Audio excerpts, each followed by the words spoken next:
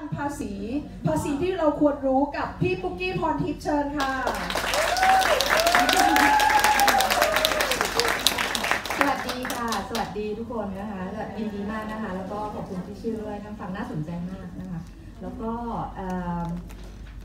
คือเวลาเราน้อย เราต้องร่วมมือกันนิดนึงนะคะจะไปไวนิดนึงนะจะไปไวนิดนึงเอิ่มอ่าโอเคนะคะคุณค่ะที่ชื่อ อันนี้ก็คือปุ๊กปุ๊กเนี่ยออยู่สวีเดนมา 15 ปี แล้วก็ปุ๊กก็ทำงานเป็นลูกจ้างก่อนในบริษัททำบัญชีเนี่ยประมาณ 8 ปีนะคะก่อนที่ปุ๊กจะมาเปิดบริษัทเองนะคะเนื่องด้วย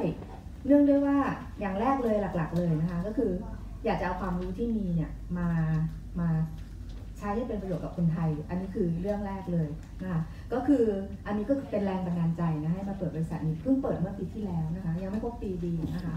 แล้วก็ตัวคลิกๆไปไหนนะขอบคุณค่ะ ก็มีประสบการณ์พอสมควรนะคะ แล้วก็เมื่อปีที่แล้ว อันนี้ก็เป็นความภาคภูมิใจของเองนะ ก็คือเป็น o c t o r i c i a d Tria du b i s n c o n s u l นะคะ ก็เพิ่งได้มาปีที่แล้วก็จะรักษากันไว้นะคะ เพื่อรักษามาตรฐานตรงนี้เนาะแล้วก็วันนี้นะคะหลักๆเลยเนี่ย คือปุ๊กพยายามเลือกเรื่องที่มัน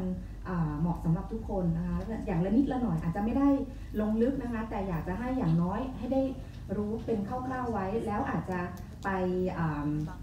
ไปหาข้อมูลเพิ่มเพิ่มเติมนะคะไฟล์ PDF ตรงนี้ที่ปุ๊กทำมาเนี่ย ถ้าใครอยากได้ก็เดี๋ยวอาจจะส่งอีเมลมาให้ปุ๊กเดี๋ยวปุ๊กส่งให้ทางอีเมล จะได้เอาไปกลับไปดูทบทวน หรือว่าอาจจะไปหาข้อมูลเพิ่มเติม บางทีอาจจะเราจดไม่ทันหรือว่าดูไม่ทันนะคะ โอเค ลูกจ้าง ส่วนใหญ่ปุ๊กจะได้ยินคนไทยบอกว่าอยู่สวีเดนเนี่ยเสียภาษีแพงมากเลย 50%ใครมีความเชื่อแบบนั้นบ้าง ใครคิดแบบนั้น อยู่สวีเดนเสียภาษี 50%นะคะเดี๋ยวเรามาดูกันนะ อันนี้สำหรับอันนี้พูดพูดในในในของลูกจ้างนะคะ ของลูกจ้างเรามาดูนะว่าเราเสียภาษีกันเท่าไหร่นะคะลูกจ้างเนี่ยเราไม่มีไอตัวชี้เลเซอร์เนาะ อ่าโอเคขอบคุณค่ะอ่าโอเคนะคะตรงนี้นะคะภาษีลูกจ้างหรือว่าคอมมูนอลหรือว่าจริงๆอะมันจะสำหรับใครที่ไม่ได้ไม่ได้ทำงานอยู่ตรงนี้นะคะจะงงกับไอ้ไอ้พวกเนี้ยภาษีท้องถิ่น หรือเราเรียกมันว่า communal skat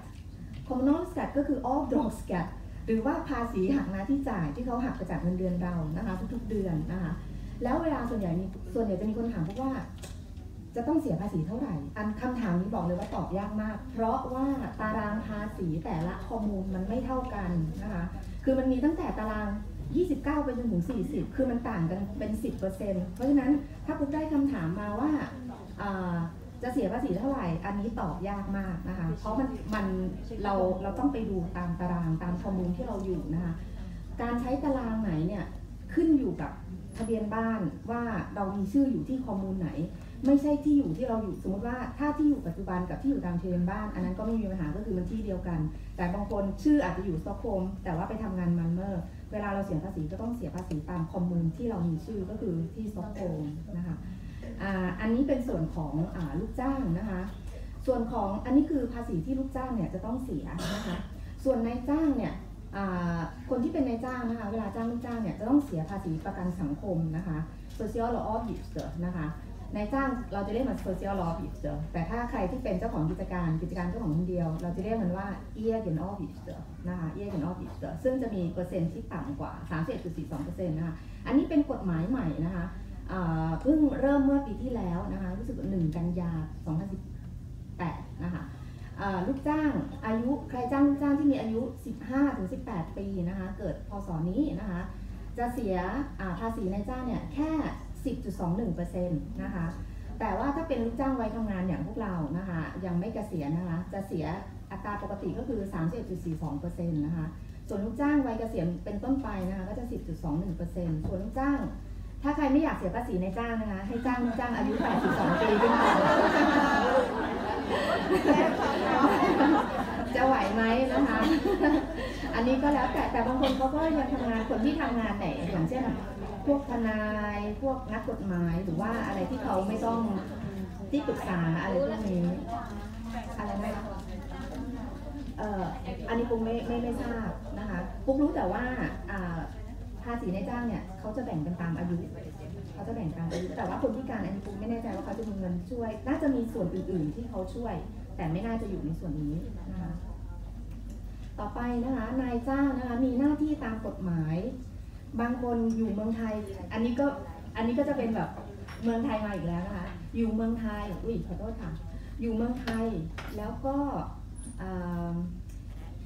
บางทีเมืองไทยเนี่ยเราจ่ายกันคือมันไม่มันไม่เป็นระบบถูกไหมจะไม่คุ้นชินกับการถูกหักภาษีอ่าหักหน้าที่จ่ายนะคะแต่มาอยู่ที่สวีเดนเนี่ยนายจ้างมีหน้าที่การตามกฎหมายนะคะพวกเคยได้ยินมีคนมาถามว่าเขาไม่เข้าใจว่าทำไมเขาทำงานเขาได้รับเงินเดือน นายจ้างโกงเขาหรือเปล่าเขาเงินเดือนเขาสองหมื่นเขาจะต้องได้รับสองหมื่น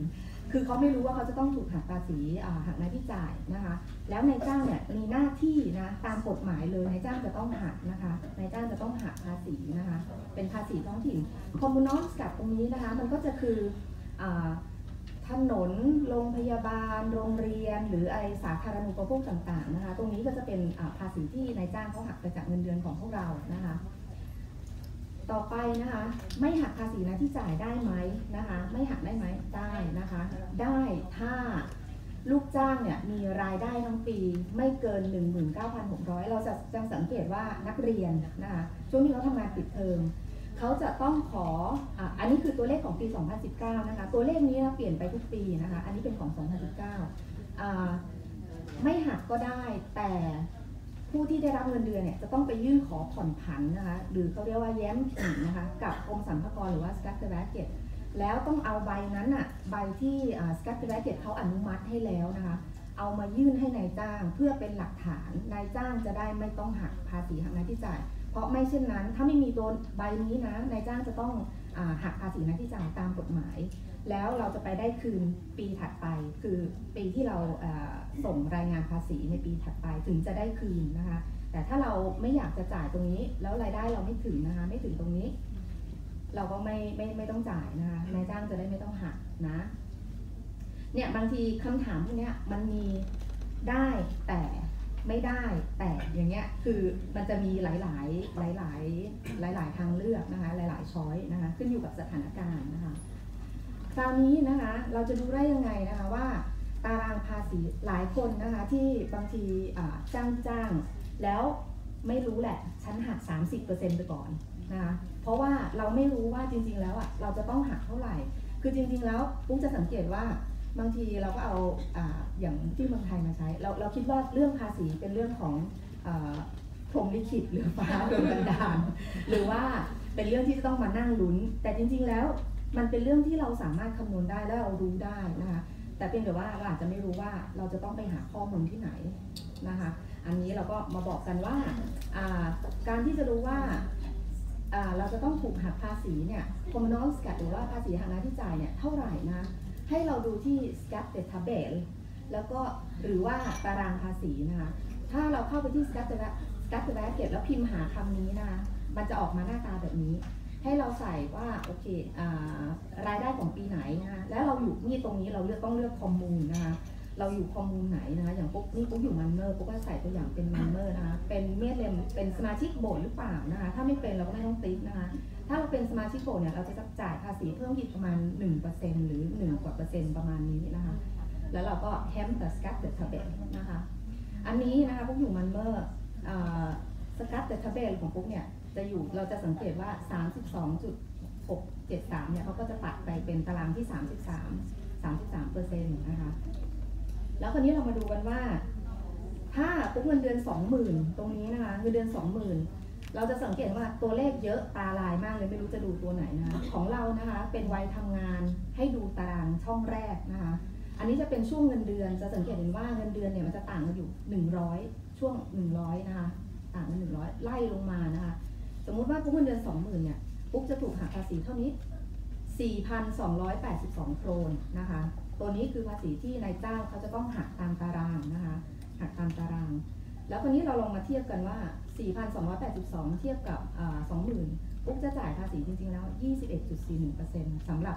สำหรับลูกจ้าง เพราะฉะนั้นที่บอกว่า 50%อันนั้นไม่จริงนะคะไม่จริงเราไม่ได้เสียภาษีขนาดนั้นนะคะเราไม่ได้เสียขนาดนั้น อีกตัวอย่างหนึงก็คือสมมติว่าเงินเดือนสามหมื่นนะคะ ภาษีหักหน้าที่จ่ายของปุ๊กเนี่ยเจ็ดพันหนึ่งร้อยแปดสิบหกนะคะ เรามาดูกันสามยี่สิบสามเปอร์เซ็นต์ยี่สามจุดเก้าห้าเปอร์เซ็นต์เพราะฉะนั้นจริงๆ เราไม่ได้จ่ายห้าสิบเปอร์เซ็นต์นะ อันนี้เราไปลบใหม่นะคะ ลบใหม่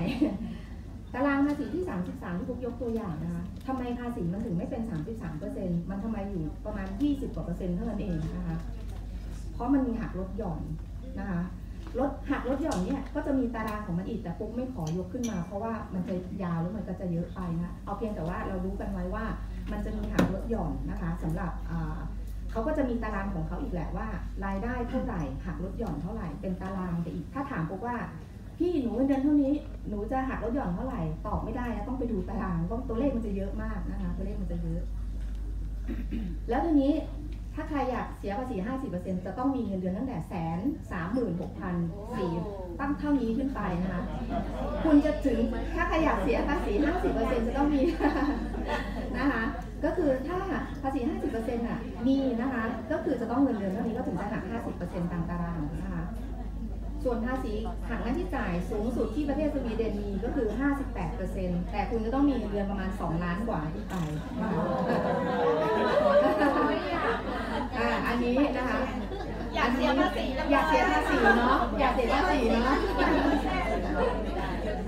อ่าโอเคนะคะอันนี้ก็ทำตารางมาให้ดูนะคะก็คืออ่าต้องยกตัวอย่างนะคะอันนี้สำหรับใครที่เป็นทั้งลูกจ้างและนายจ้างนะคะ ลูกจ้างลูกจ้างเนี่ยเขาจะไม่ต้องรับผิดชอบอะไรมากเหมือนที่ชื่อบอกว่าลูกจ้างเนี่ยเขาจะมีรัฐจะคุ้มครองแล้วก็จะมีสวัสดิการค่อนข้างดีนะคะแต่ทีนี้ในส่วนในส่วนของอภาษีหักหน้าที่จ่ายเนี่ยอยากจะบอกนายจ้างนะคะ ต้องช่วยลูกจ้างด้วยนะคะ เพราะบางทีเราหัก 30%เนี่ยอย่างที่ปุ๊กยกตัวอย่างเมื่อสักครู่นี้เงินเดือน 20,000 ใช่ไหม ภาษีจะอยู่ที่ประมาณ 4,000 กว่าถูกไหมคะแต่ถ้าเราไปหักเขา 30%อะเราหักเขาไปเท่าไหร่ 6,000 ถูกไหมแล้ว 6,000 เนี่ยแทนที่เขาจะได้เงินเดือนส่วนต่างของ 4,000 กับ 6,000 อยู่ที่ประมาณเกือบ 2,000 เลยนะ เพราะฉะนั้นเงินเดือนเขาจะหายไปเดือนหนึ่งอะสองพันแล้วเขาจะไปได้คืนปีหน้า แทนที่เขาจะได้มีค่าใช้จ่ายระหว่างแต่ละเดือนละเดือนเพิ่มขึ้นอีกเกือบเดือนละสองพันเนี่ย เราไปหักเขา 30%เลยอย่างเงี้ยเขาเสีย สภาพคล่องทางการเงินตรงนี้ไปทุก ๆ เดือนนะคะกว่าจะไปได้เขาได้คืนจริงค่ะ แต่ต้องรอปีหน้านะคะ เพราะฉะนั้นนายจ้างเนี่ยเวลาที่รับลูกจ้างมาส่วนใหญ่เวลาที่เขาทำบัญชีเนี่ยแล้วปุ๊บถามว่า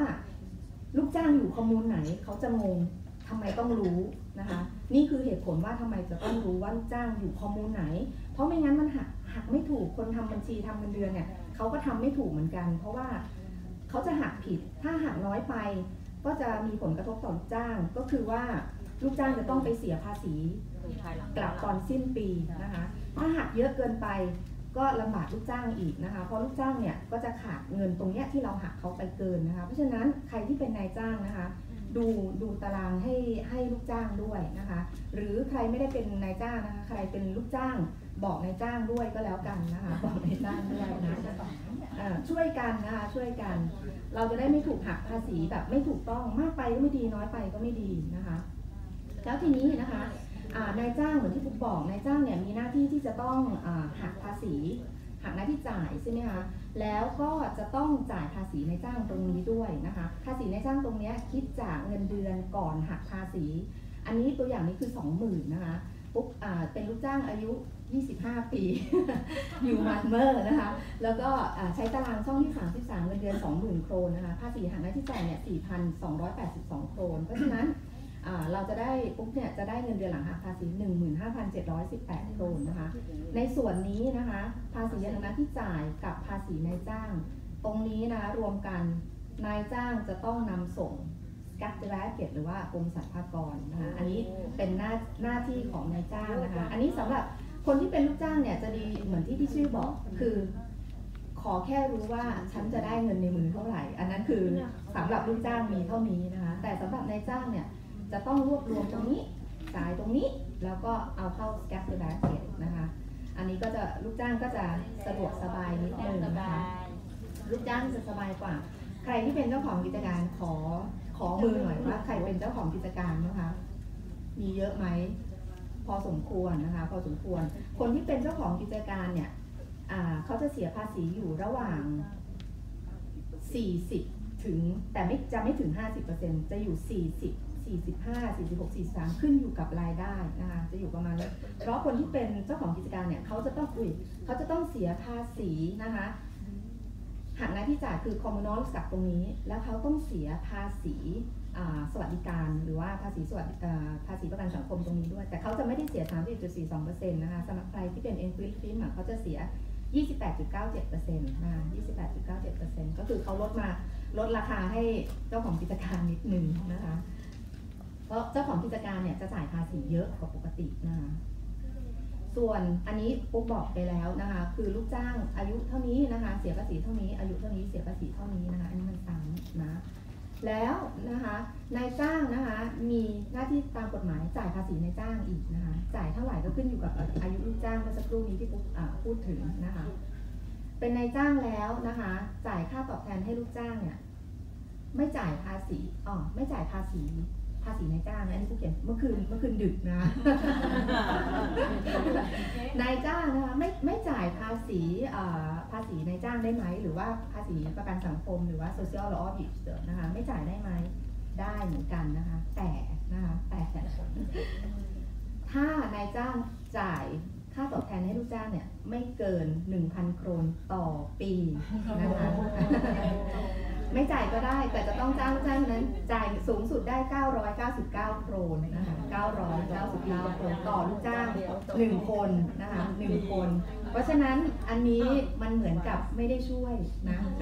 มันเหมือนกับไม่ได้ช่วยนะคะ เพราะฉะนั้นแต่บางทีมันจะมีแบบว่าอย่างนักเรียนหรือบางทีเราจ่ายอะไรให้ลูก หรืออะไรเงี้ยนิดๆหน่อยๆช่วงแบบ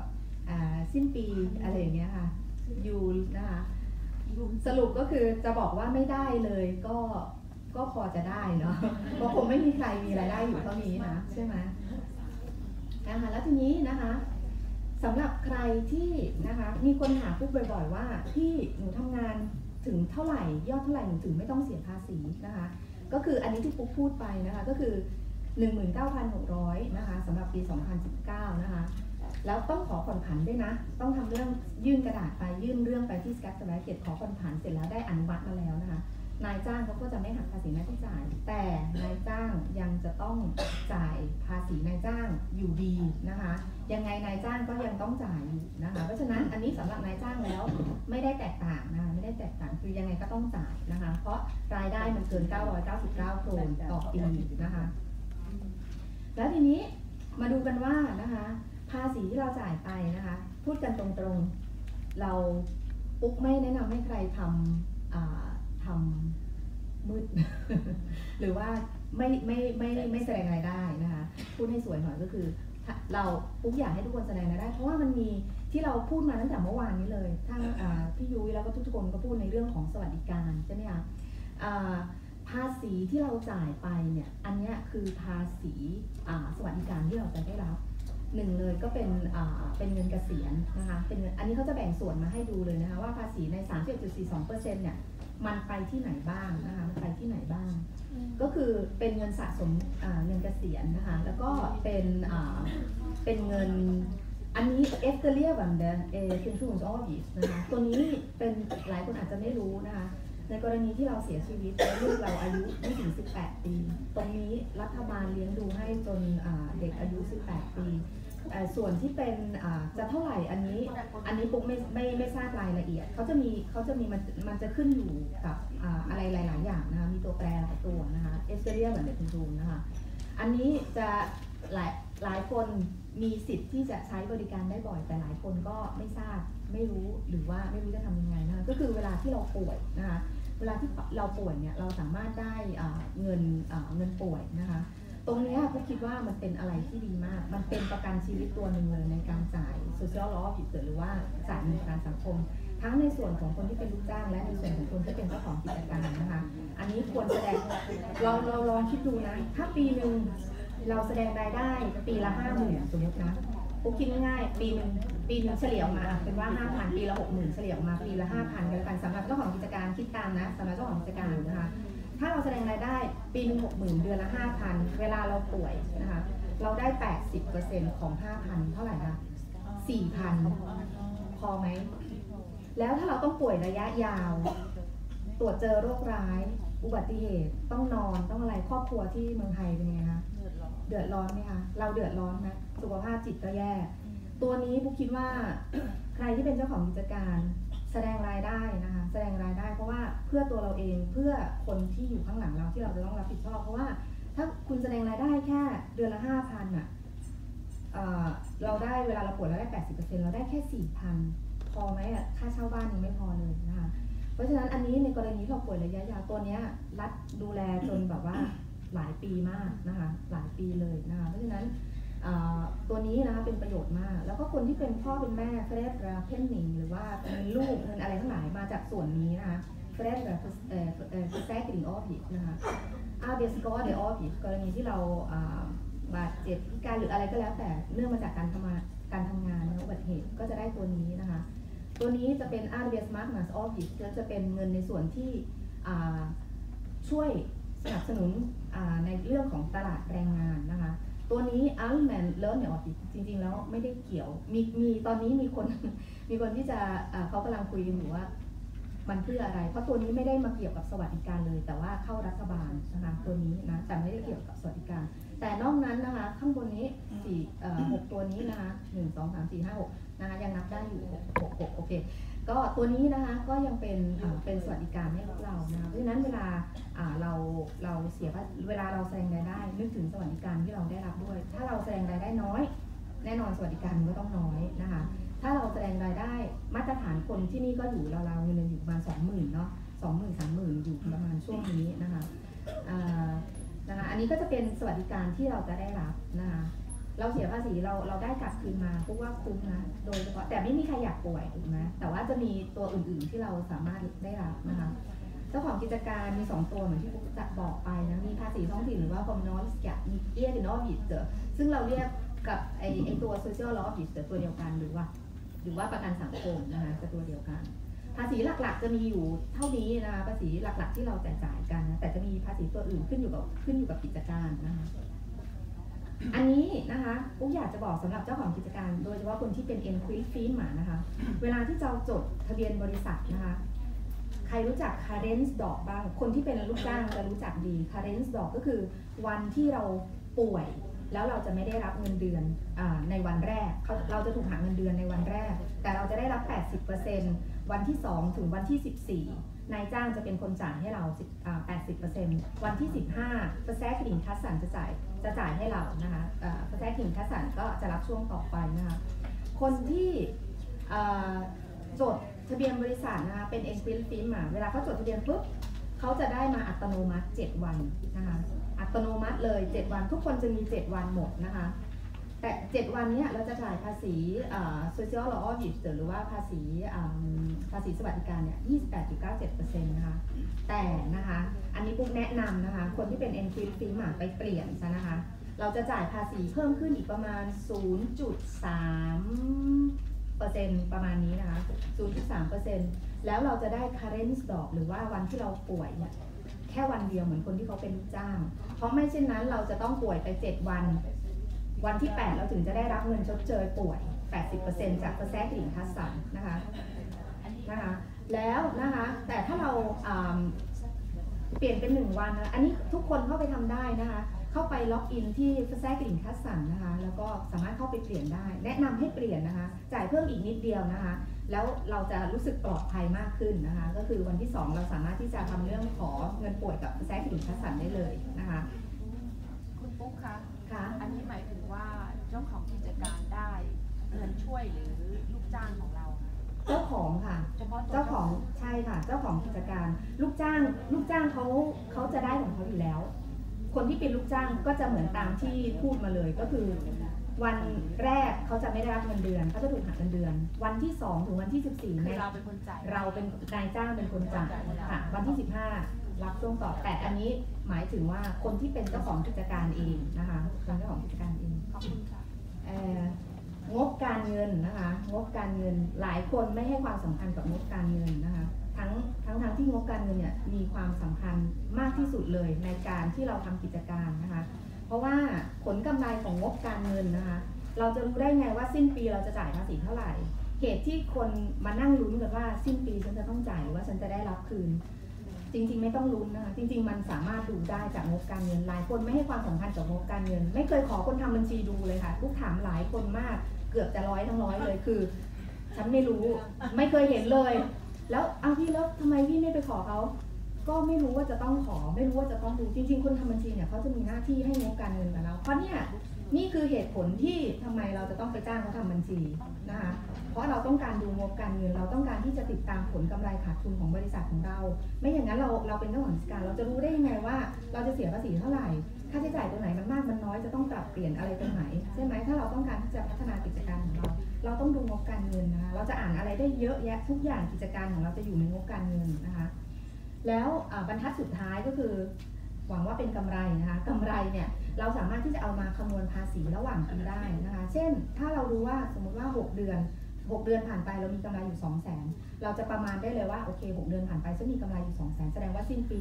เป็นมีความเป็นไปได้ว่าฉันจะมีกำไรอยู่ 4 0 0 0 0 0แล้วทีนี้เราจากการประมาณการตรงนี้เราสามารถที่จะไปปรับ F สกัดของเราได้ ไม่ให้มันมากเกินไปหรือมันน้อยเกินไป ถ้าเราจ่ายมากเกินไป เราถ้าเราเคยแสดงรายได้เอาไว้มากเกินไป เราปรับลงมา เราก็จะจ่าย F สกัดน้อยลง คือปรับให้มัน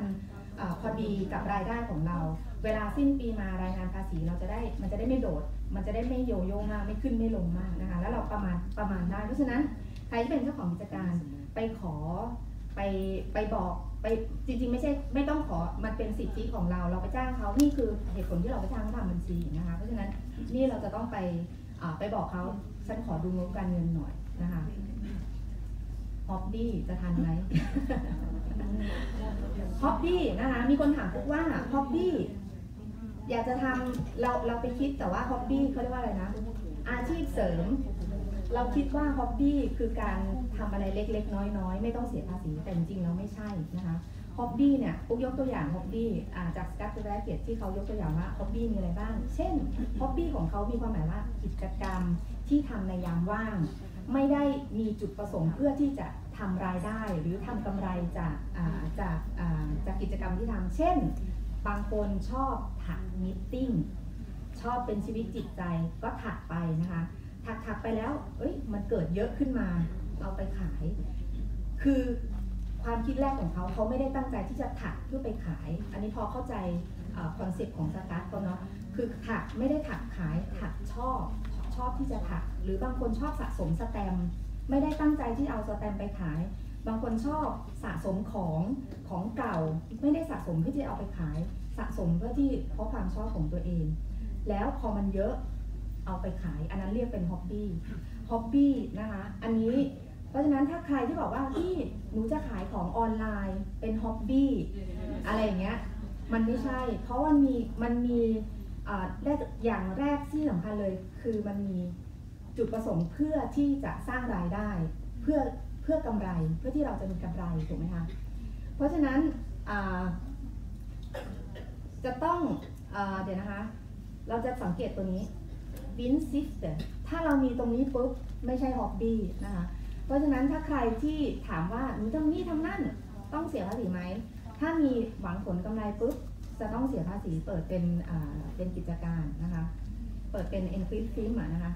เวลาเราเปิดกิจการผู้แนะนำให้เป็น e n c r i p t film อะเพราะว่าอะไรเพราะว่าเปิดง่ายปิดง่ายไม่ยุ่งยากนะคะ ถ้าไปได้ดีแล้วอยากจะเปิดเป็นออเบีย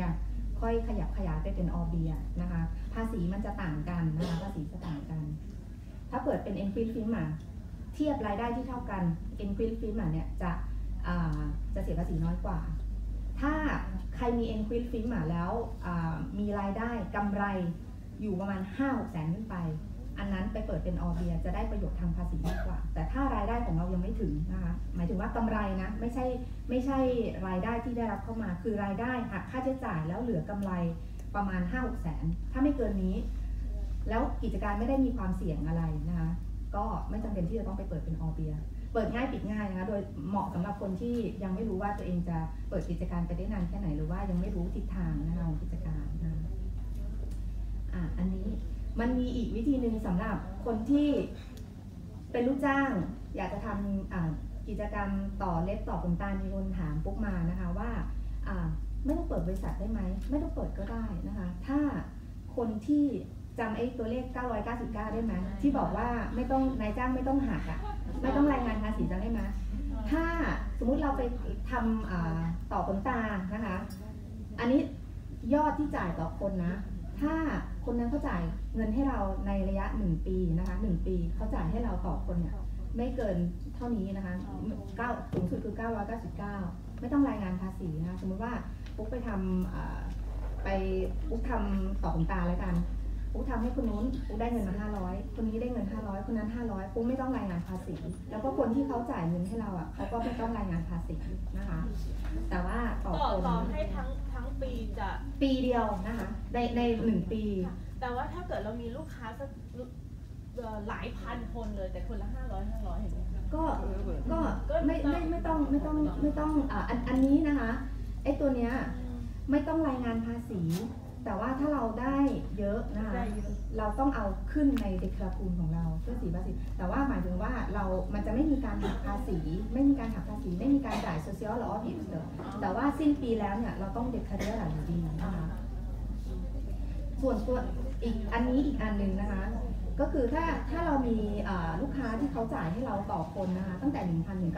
9,999 นะคะ เราจะต้องส่งไอตัว control u b i หรือนะคะส่งเฟรนจาก เหมือนเข้าใจไหมว่าคนเราไม่ได้เป็นบริษัทเราคือลูกจ้าง ใครก็แล้วแต่ที่จ่ายเงินให้เรา คนนั้นคือนายจ้างของเรานะคะแล้วนายจ้างของเราเขาจะต้องจ่าย social law of use นะคะอันนี้ก็ในลักษณะเดียวกัน แต่เพียงแต่ว่าคนที่จ้างเราอาจจะเป็นบุคคลธรรมดา เป็น private person หรือว่าบุคคลธรรมดา แต่เขาก็ต้องจ่าย social law of use เหมือนกันนะคะโอเคนะคะ คอร์สใกล้แล้วค่ะ ภาษีสวีเดนคือปุ๊กจะมีคอร์สออนไลน์อยู่นะคะ 2,950 โครน ใครที่มาจากอ่าพิเศษด้วยไหมคะสิบเปอร์เซ็นต์นะคะสิบเปอร์เซ็นต์ลงไปอีกนะคะ เอากี่เปอร์เซ็นต์ดีสิบเปอร์เซ็นต์นะคะสิบเปอร์เซ็นต์สีเลยค่ะก็มีหลายคนที่อ่าลงเรียนกับปุ๊กอยู่ในนี้ก็ในคอร์สนี้ก็มีหลายคนนะคะ คือมันดีมากเพราะว่ามันตั้งแต่สวัสดิการอา มอมการคำนวณภาษี การจ้างงานพักร้อน คือสิ่งที่เจ้าของกิจการต้องรู้อยู่ในนี้หมดเลยนะมีทั้งหมด 12 บทนะคะก็ใครสนต่อปีหรือว่าได้ยาวราคานี้ต่อปีหนึ่งเอ่ปีอตอนตอนนี้นะคะก็ปุ๊กปุ๊กตั้งใจว่าจะไปถึงกลางปีหน้าว่าจะต้องปรับเนื้อหาใหม่นะคะ ถ้าใครจะเข้ามาเรียนก็รีบเข้ามาเรียนนะคะคุ้มมากนะคะราคาราคานี้แล้วก็ใครที่มีกิจการนะคะ เอาไปหักเป็นค่าใช้จ่ายได้ด้วยนะคะ ประมาณกลางปีหน้าเพราะปุ๊กจะปรับปรับเนื้อหาใหม่นะคะอ่าจ่ายครั้งนี้สามารถเรียนได้ยาวถึงใช่ใช่ค่ะใช่ จากนั้นนะคะอันนี้เป็นคอร์สใหม่ที่ผมจะเปิดนะสำหรับกิจการร้านนวดนะคะมีปัญหากันมาก ทุกคนมีปัญหาหมดที่ปุ๊บทำงานมาก็คือจะถามคำถามที่คล้ายๆกัน แล้วก็จะเห็นปัญหาคล้ายๆกันก็คืออ่าจ้างงานยังไงนะคะเพราะว่าส่วนใหญ่แล้ว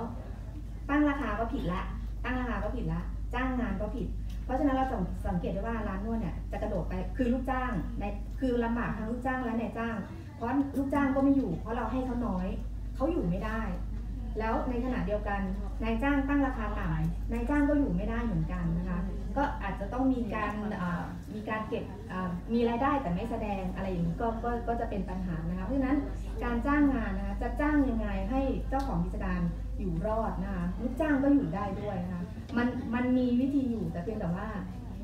เราอาจจะไม่รู้นะ อันนี้ต้องมาเรียนรู้กันใครสนใจมามาลงชื่อกับปุ๊กได้นะคะ อันนี้ปุ๊กยังไม่ได้เปิดแต่ว่าปุ๊กจะดูก่อนว่ามีใครมีคนสนใจมากน้อยแค่ไหนนะคะ อีกอันหนึงก็จะเป็นอ่าสำหรับใครมีคนถามมาอีกเหมือนกันนะคะ ว่าจะทำยังไงหนูอยากจะทำความสะอาด แต่ว่าหนูไม่รู้ว่าจะเปิดบริษัทดีไหมนะคะ เราสามารถที่จะทำงานพวกนี้ทำความสะอาดทำงานบ้านที่ผ้าซักผ้าพวกรืดออฟดรอปนะคะหรือว่าทำการทำงานบ้านทั้งหลาย รับส่งเด็กเลี้ยงเด็กหรืออะไรอย่างเงี้ยค่ะในบ้านนะคะเป็นเป็นอ่าอ่าเป็นการรับจ้างพวกอย่างเงี้ยค่ะซักผ้ารีดผ้านะคะ เราสามารถทำได้โดยที่เราไม่ต้องมีบริษัทก็ได้ แต่ว่าก็จะต้องมีวิธีทำอีกเหมือนกันนะคะว่ากระดงกระดาษอะไรว่าเราจะต้องทำยังไงใครสนใจมาลงชื่อกับปุ๊กได้นะปุ๊กจะดูว่าถ้ามีคนสนใจเยอะปุ๊กก็จะเปิดเป็นคอร์สนะคะเนาะ โอเคนะคะไอเดียอันนี้เนื่องจากว่ามีหลายคนมารวมตัวกันในนี้แล้วก็มีกิจการหลาย ๆ อย่างนะคะมันจะมีปัญหาของคนที่อย่างเช่น คนเปิดร้านขายของชำนะคะก็จะมีลูกค้าเปิดร้านขายของชำหลายหลายๆคนเหมือนกันนะคะแล้วก็เขาจะมีปัญหาตรงที่ว่า เวลาเขาซื้อของเนี่ยเนื่องจากบริษัทใหญ่ แล้วเขาเป็นบริษัทเล็ก ๆ เป็นร้านเล็ก ๆ นะคะ แล้วเขาจะได้รับการเอาเปรียบเขาจะต้องซื้อของจำนวนเท่านั้นเท่านี้ ไม่งั้นเจ้าใหญ่เขาไม่ส่งให้ หรือว่าบางทีเขาส่งให้แต่ว่าอของหมดอายุบ้างอะไรบ้าง แล้วบางทีเป็นกิจการเล็กๆผู้อยากจะผู้อยากจะจะทราบว่าเราจะสามารถมารวมตัวกันได้บ้างไหมสำหรับคนไทยด้วยกันมีทั้งคนนำเข้าส่งออกมีทั้งทั้งขายของคือทุกคนน่ะมันเราเกี่ยวข้องกันอยู่แล้วหมายถึงว่าส่งออกเอ้ยนำเข้านะคะ ใครที่เป็นนำเข้าร้านขายของชำเนี้ยน่าปุ๊กคิดว่าเราน่าจะมาโคโค งานกันได้ ร่วมงานกันได้ ว่าเราจะทำยังไงไม่ให้เราถูกอารัดเอาเปรียบนะคะแล้วก็คือทุกคนได้ประโยชน์ร่วมกันนะคะแล้วก็ทำให้มันดีขึ้นนะคะทุกคนอันนี้น่าน่าน่าที่จะมีการรวมตัวกันทั้งร้านนวดร้านนวดก็การขึ้นราคาการปรับราคา เพราะมันทำคนเดียวไม่ได้ มันจะต้องมันจะต้องพร้อมๆกัน มันต้องมีการแพลนนะคะอันนี้ปุ๊กคิดว่าอ่าน่าจะมีอะไรสักอย่างจ้ะโอ เคนะคะ เวลาหมดแล้วนะคะ มาคุณว่าเท่านี้ใครอยากจะติดตามนะคะก็ติดตามได้นะคะขอบคุณมากค่ะสุดยอด